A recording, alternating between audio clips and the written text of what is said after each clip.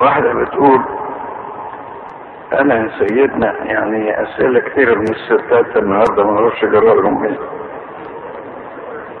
كويس يعني بيتحركوا بيتنشطوا.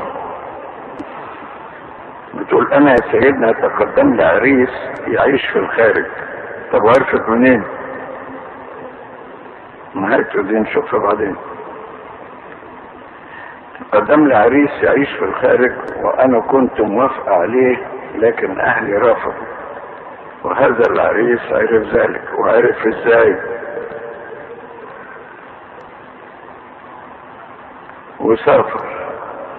يسهر لما جه هنا اتعرفت عليه ووافقت عليه وأهلها موافقوش وسافر لكن أنا كنت موافق وأريد هذا الشخص ولا زلت أريده. وأتمنى أن يتقدم لي مرة أخرى وأوافق عليه بالرغم من معارضة أهلي. ما يا بنتي لما أنت تتجوزي واحد مع معارضة أهلك لو تعبت معاه ما تلاقيش حتة تروحيها يعني الواحدة لما بتتعب مع زوجها تروح لأهلها. فإذا كانت هي ضد أهلها واتجوزت من غير رغبتهم يبقى بأي وش هترجع لأهلها؟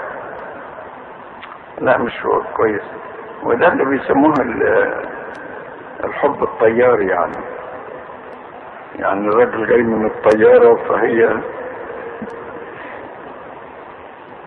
حبته وهو طار وهي ما لحقتش تطير معاه. الزواج ما يكونش بالشكل ده لا. مش كمان واحد جاي لك من الخارج يعني توافق عليه على طول. أنت عارفة حكايته إيه؟ هل سألت عليها الكنيسة اللي هو يدعى عليها في الخارج؟ هل سألت عليه الناس اللي موجودين في الخارج يعرفوه ولا ما يعرفوش؟ ثم أهلك ما وافقوش عليه ليه؟ لازم في أسباب. لكن انت من محبتك للزواج بهذا الشخص ما حطيتيش في مخك الأسباب اللي من أجلها أهلك رفضوا. إنما خليت الحب هو كل حاجة كده. دي شعور مراهقة. لما تخرجي من فترة المراهقة تتعقلي وتفكري بتفكير متزن.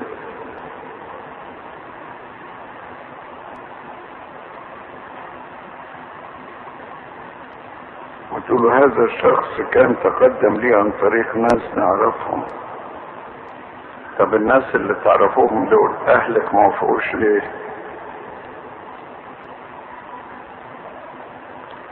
انسي الشخص ده شوية انسيه وان شاء الله ربنا يبعث لك واحد من الداخل مش من الخارج ويكون أحسن شوية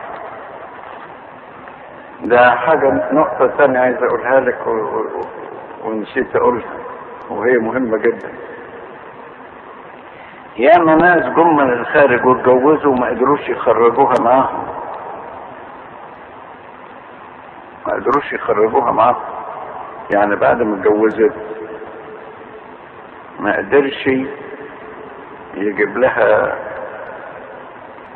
لا الفيزا ولا ال citizenship ولا ال green card ولا حاجة.